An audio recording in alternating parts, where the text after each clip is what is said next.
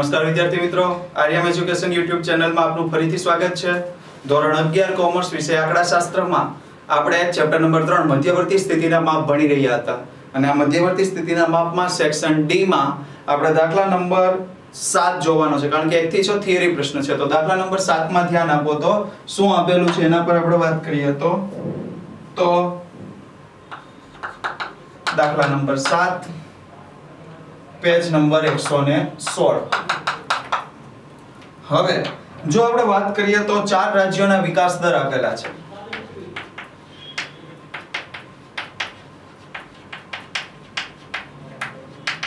બે ટકા, બે પોઈન્ટ પાંચ ટકા, ચાર ટકા અને ત્રણ ટકા. આ વિકાસ દર હતા. હવે આપણે શું જોવાનું છે? તો આપણે લેવાનું છે x1 કારણ કે વિકાસ દર એટલે 100 માં શું કરવો પડશે? વધારો. એટલે 100 2 બરાબર 102 ટકા. x2 100 2.5 એટલે 102.5 ટકા. x3 100 4 બરાબર 104 ટકા.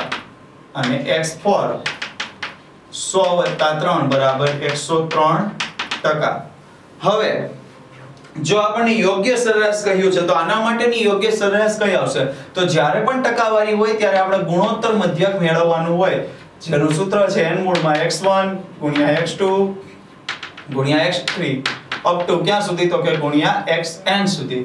અહીંયા આપણને કેટલા અવલોકન આપેલા છે? 4 એટલે ચતુર્થ મૂળમાં, એટલે g બરાબર ચતુર્થ મૂળમાં શું આવશે? તો કે 102 ગુણ્યા 102.5 ગુણ્યા 104 ગુણ્યા 103 તો આપણે ડબલ વર્ગમૂળ લખી શકીએ, કારણ કે ચતુર્થ મૂળ એટલે વર્ગમૂળનું વર્ગમૂળ. ચતુર્થ મૂળ એટલે વર્ગમૂળનો વર્ગમૂળ. એટલે આપણે બે વર્ગમૂળમાં લખીએ તો તો બધાનો ગુણાકાર કરીએ એટલે બધાનો ગુણાકાર આપણને કેટલો મળશે?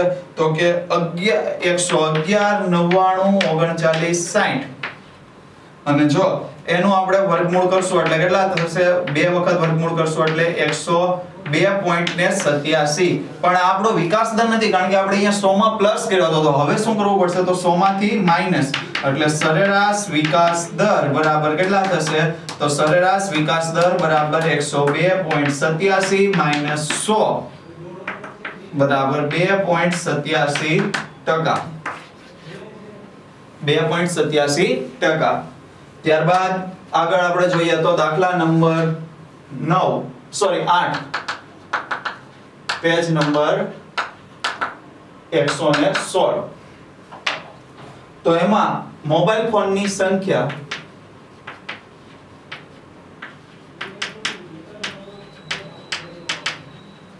અને સાથે શું આવશે? દિવસોની સંખ્યા.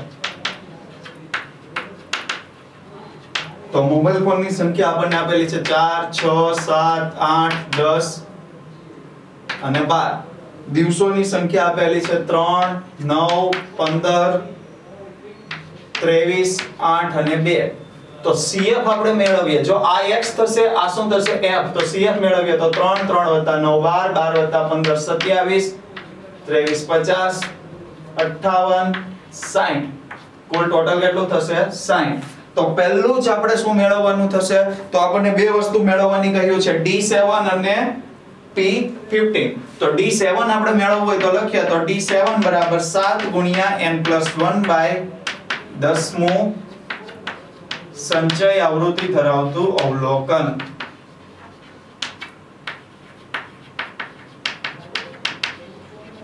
તો જો આપણે વાત કરીએ તો 7 ગુણ્યા 60 વત્તા 1 ભાગ્યા 10 તો 7 ગુણ્યા 60 વત્તા 1 એટલે કેટલા થશે? 61 ભાગ્યા 10 એટલે 6 પોઈન્ટ ને 1 બરાબર? 42.7 મી સંચય આવૃત્તિ ધરાવતું અવલોકન. એટલે 42 અને 43 માં આપણે જોવાનું થાય. તો 42 અને 43 બંને 50 માં આવે એટલે 8 અવલોકન થશે. તો 42 મી અને 43 મી આવૃત્તિ. કયા અવલોકનમાં છે? અવલોકન આઠમાં હોવાથી. તો શું આવશે? તો D7 બરાબર આઠ મોબાઈલ. ડી સેવન બરાબર કેટલા મોબાઈલ થશે? આઠ મોબાઈલ. હવે આગળ આપણે વાત કરીએ તો P 15 બરાબર 15 ગુણ્યા n 1 બાય 100 મી સંચય આવૃત્તિ ધરાવતું અવલોકન.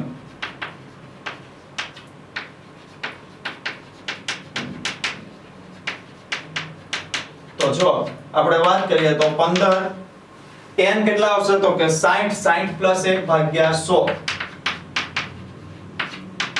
બરાબર 15 ગુણ્યા 0.61 અને 15 ગુણ્યા 0.61 કરો એટલે 9.15 મી સંચય આવૃત્તિ ધરાવતું અવલોકન. હવે 9.15 મી સંચય આવૃત્તિ એટલે 9 મી અને 10 મી બંને ક્યાં આવશે? 12 માં તો લખવાનું. 9 મી આવૃત્તિ અને 10 મી આવૃત્તિ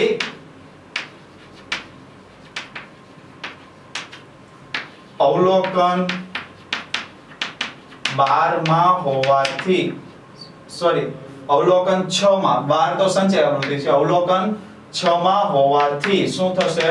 તો કે પી ફિફ્ટીન બરાબર છ મોબાઈલ.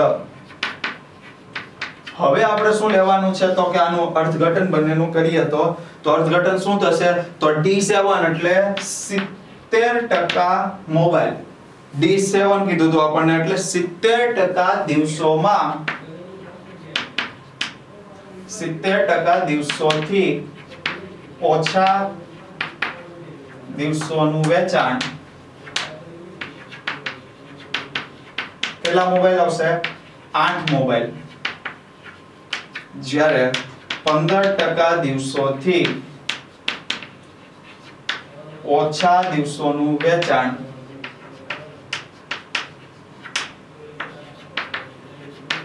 કેટલા મોબાઈલ આવશે? તો કે છ મોબાઈલ તો આપણે બંને અર્થઘટન પણ મેળવી લીધા. હવે આગળનો પ્રશ્ન આપણે જોઈએ. દાખલા નંબર 9 પેજ નંબર 117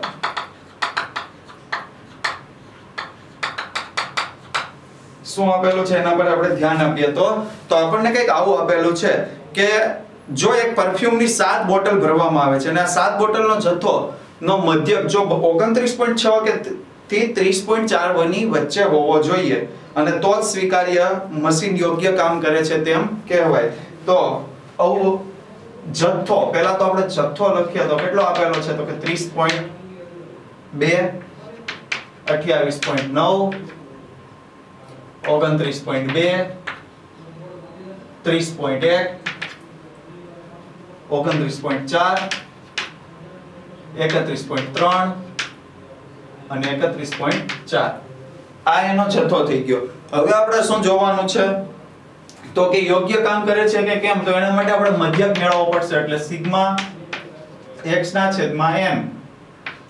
તો સિગ્મા x બરાબર આપણે ટોટલ કરશું 30.2 વત્તા 28.9 વત્તા 29.2 વત્તા 30.1 વત્તા 29.4 વત્તા 31.3 વત્તા 31.4 તો આપણે ટોટલ કરીએ તો સિગ્મા x બરાબર કેટલા થશે? તો કે 210.5 તો x બાર બરાબર 210.5 છેદમાં કેટલા આવશે? 7 તો x બાર બરાબર કેટલા આવશે? તો કે 30.07 મિલીલીટર. 30.07 મિલીલીટર. તો હવે આપણને શું કહ્યું છે? તો કે જો મધ્ય સરેરાશ પરફ્યુમ જથ્થાનો મધ્યક